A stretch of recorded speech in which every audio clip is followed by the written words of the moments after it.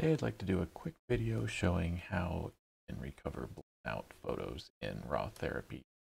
So the situation here, I was shooting on my Panasonic G9, set the ISO to auto and uh, an exposure compensation of plus one because I normally shoot uh, towards the, the, the right edge or the lighter edge of um, the suggested exposure in the camera and I thought an exposure compensation of plus one.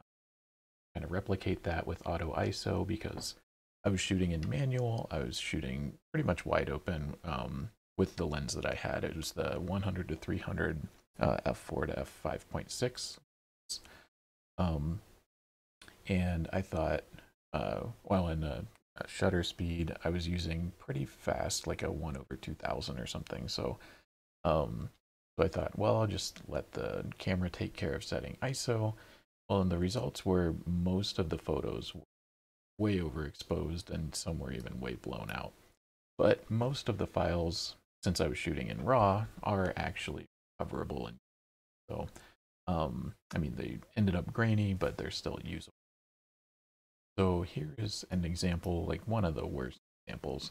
Uh, this is a Fox that this is the straight out of camera JPEG. That, as you can see, it's still very, very overexposed. Uh, the raw file is practically just white.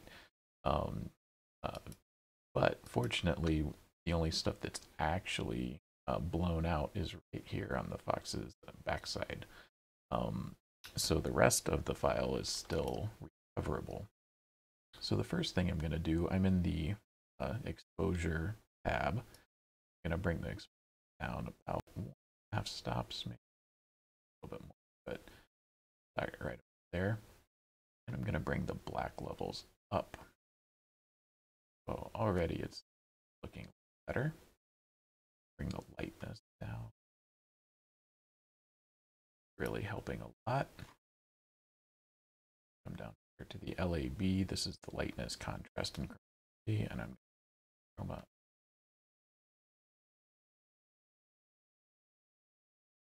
I'm going to jump over to the color tab, like using vibrant, that up a little bit. Not going to worry about skin tone since box.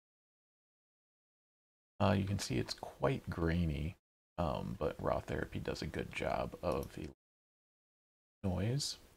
I'm gonna the this detail tab, come down to reduction, that. And because it's such a high ISO value, it, it shot at 12,800. I'm actually going to go aggressive. That will help there.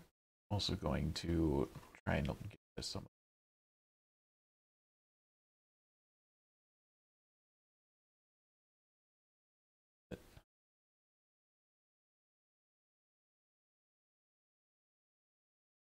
going to do impulse reduction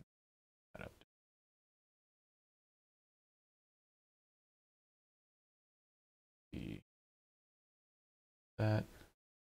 A whole lot of noise. With it, it kind of reduces the sharpness of the photo, but get rid of some of that.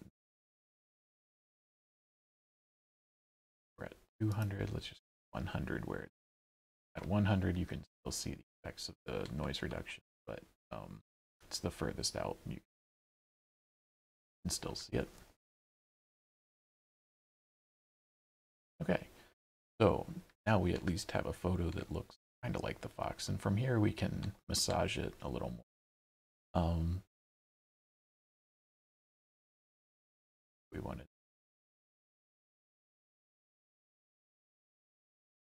lighten it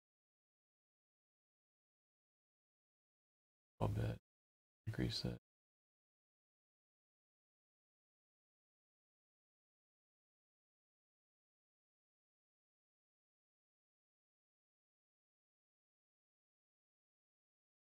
There we go.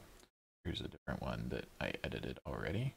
And it's pretty close to where I want it as well. And I've also cropped it just to put the eyes and the face and the thirds kind of the upper left. But it's a pretty simple, quick fix. And we can recover you know, something that starts like this end up a, you know, at least use photo from the day.